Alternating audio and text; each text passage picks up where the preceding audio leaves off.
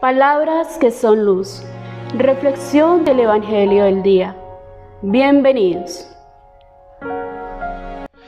Hermanos y hermanas, que la gracia y la paz de parte de Dios esté con cada uno de ustedes, en su corazón, en sus familias. Nos encontramos en este viernes 12 eh, de agosto y hoy en la palabra de Dios se nos regala el don maravilloso del matrimonio. Mirar esa gracia de unión y fidelidad que nos invita el Señor. Por ello, en un momento de la palabra de Dios, dice, lo que Dios ha unido no lo separa el hombre.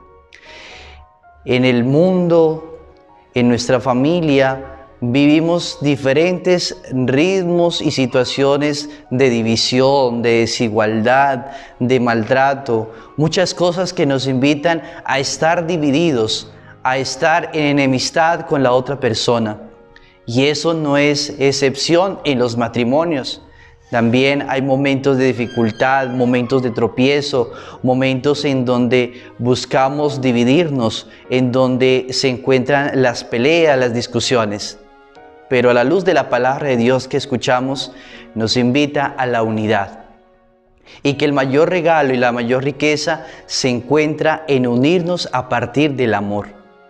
El amor es aquel que nos permite superar muchas dificultades el amor, como nos dirá San Pablo, es aquella que nos puede motivar a estar en paz, a buscar el perdón, a buscar la reconciliación, a buscar el diálogo. Muchas familias en estos momentos se encontrarán fragmentadas, divididas, se encontrarán en un momento de oscuridad, pero cuando Cristo llega a nuestra vida, cuando Cristo llega a nuestras familias, nos invita a vivir en el amor que Él puede transmitir y que Él como verdadera luz nos puede ayudar en la adversidad. Que esos matrimonios que se encuentran en esta dificultad de división puedan ser sostenidos y fortalecidos en la gracia de Dios.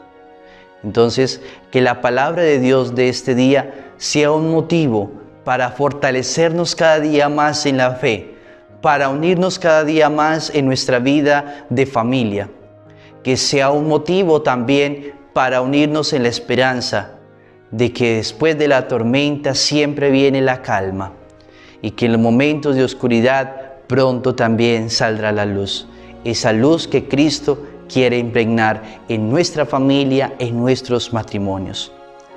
Que el Señor hoy bendiga a muchos matrimonios que se han unido que el Señor bendiga esa gracia esponsal que un día recibieron en la iglesia y que aquellos que aún no han unido sus vidas a este sacramento, el Señor los motive hoy más que nunca a seguir esta gracia y esta bendición en el sacramento del matrimonio.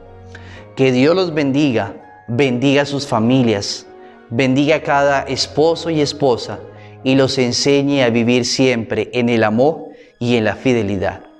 Dios los bendiga.